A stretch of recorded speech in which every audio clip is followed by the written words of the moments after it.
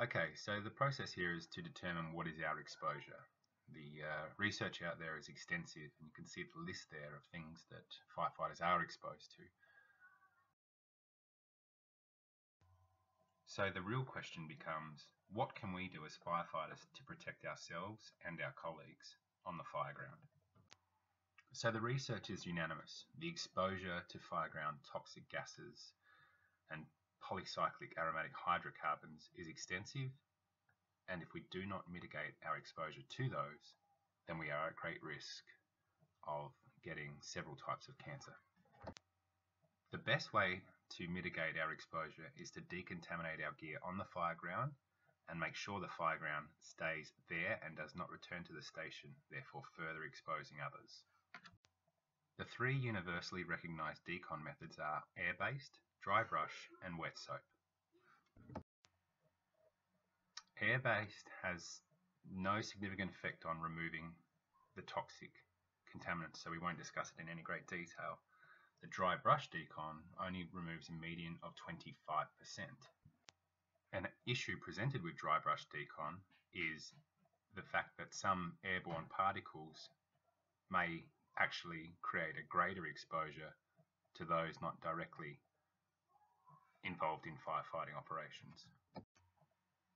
Wet soap decon is the most preferred method based on research across the globe for the fire service industry. It has a greater effect on removing contaminants. In fact, 85% of polycyclic aromatic hydrocarbons can be removed with wet soap decon. So this is our preferred method moving forward. This graphic further represents how much more effective wet soap decon is to the other two proposed.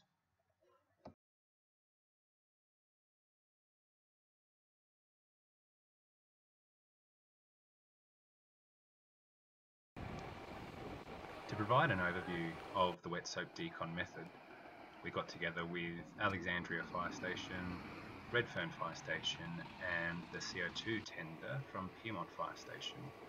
We tried to make the scenario look as real as possible, so we had a, a fire truck arriving to a large tower with smoke issuing.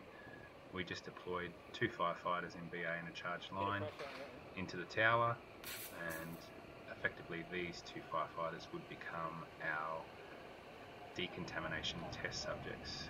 So they enter through the door. This is all real notional testing. They're simply going in to simulate the door entry.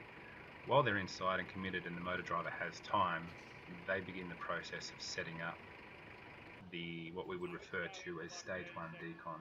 So a, a clearly delineated space using witches hats where firefighters can be directed to.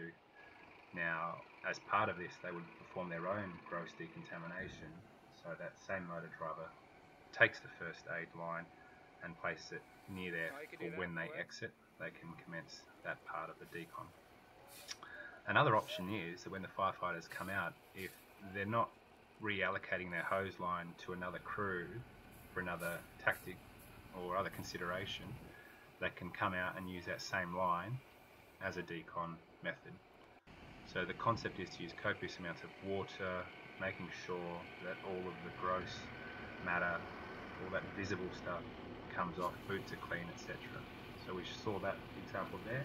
If they handed that hose over, then again, they can both move to this designated area for stage one, where again, the same process is followed.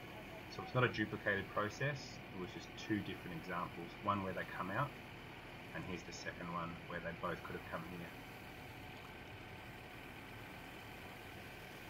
We're using a certain amount of water, making sure getting into all the, the crevices where particulates and that gross contamination would sit on top of the cylinders, uh, across all the leading edges such as your shoulders, um, waist belts and harnesses around the BA section. From there they move on to what we'd call stage two, or it's really the final stage of decontamination where we have a second crew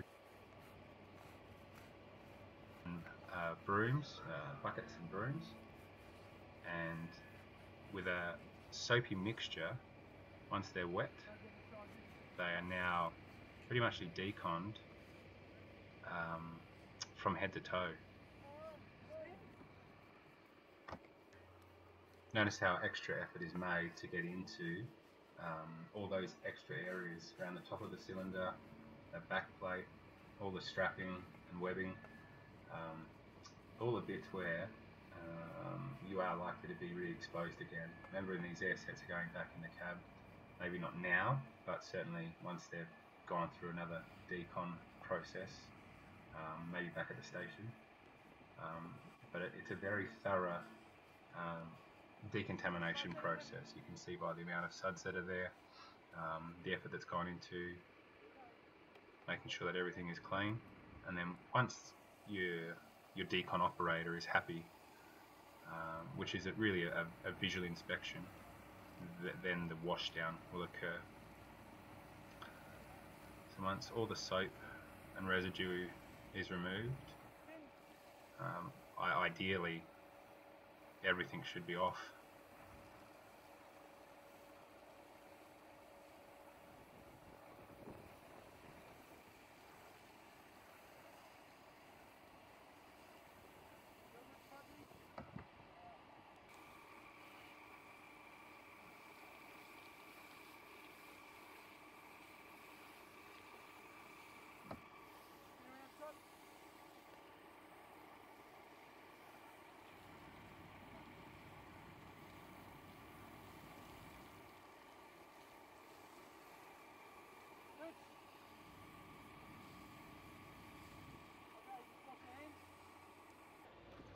Once the crews are decontaminated, they can now move to a safe location to disrobe and doff their BAs.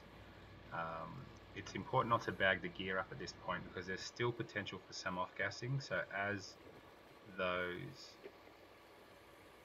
BA sets come off and that gear, that gear should be left out to uh, vent, for want of a better word. Um, so if it can be left out either hanging up or in the sun, it's night time, if you can hang it out somewhere, then that's the best option available to us at this point in time.